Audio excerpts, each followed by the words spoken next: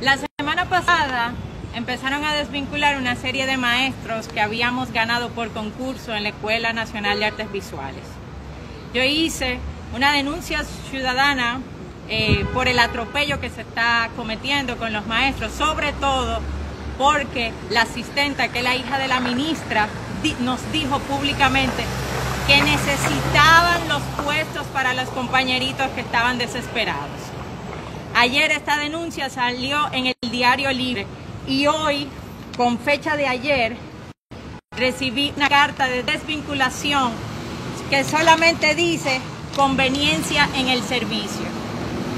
La señora Alice Alfao, quien es, era ex directora de recursos humanos, me explicó que estas eran las nuevas disposiciones de la dirección, sin importar la irregularidad y que esto se evidencia como una total represión y retaliación. Entonces ya no estamos en dictadura. Mírenlo ahí. Y lo llevaremos hasta las últimas consecuencias dentro de la legalidad.